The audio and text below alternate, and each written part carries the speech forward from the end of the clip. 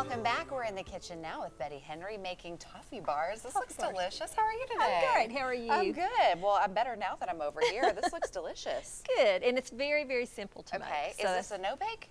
no, you have to bake You it. You do, okay. Yeah, All yeah, right. you do have to bake it. So you start out with a cup of butter that's softened, and you Uh-huh. just mix it, Okay. start mixing it, and then I'm going to add a cup of brown sugar, Mm-hmm. slowly, so we don't have brown sugar everywhere, hopefully. and then one egg yolk. Okay. Just the yolk. just the yolk. Now, I would save the white and make thumbprint cookies, but you can throw the white away. Okay. okay. Now, is there a reason to that? Um, because you're trying to make it, it, it, you don't want it to rise up and be so it's- really fluffy. Yeah, you're, yeah, You're just wanting it to be, yeah, the Okay. consistency. And so, and you're going to mix that together till it's, know, pretty good and incorporated. All right. I'm going to scrape the bowl one time, and then we'll add the rest of the stuff. All right. And then to that, you're going to add a teaspoon of vanilla. Uh-huh.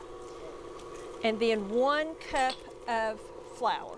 This is just regular, All-purpose flour. plain, all-purpose flour. And you're going to mix all that together. And then you're going to pat it out. You'll see it's going to be kind of thick, but you're going to pat it out into a 9 by 13 pan that you have sprayed with some Pam. Okay. So you have to grease the pan. Which is so you important, Can, yeah. yeah, so you can tell it's Oh, pretty it's thick. thick. Yeah. And you're going to spread that out in the pan, bake it at 325 Okay. for 25 minutes. When you pull it out, you take six Hershey candy bars Hmm. that you unwrap and lay them on the top of it. Okay.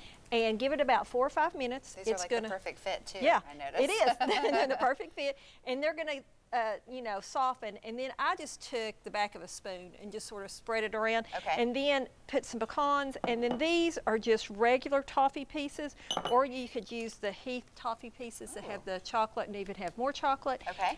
Put it in the refrigerator for about an hour, and that sets those candy bars back up. Okay. But then pull it out, and you can serve it at room temperature, and you can tell they cut into a nice, you know, bar. That's yeah. not too hard. Not hard that. at all. looks so good. Yeah, yeah, All right. where can easy. people find you if they want to use you? Uh, we're on Tazewell Pike, 7231 Tazewell Pike, or they can give us a call, 687 8856. All right. And I believe we'll have this recipe on our website. Yes, Betty, yes. thank you so much. Thank you.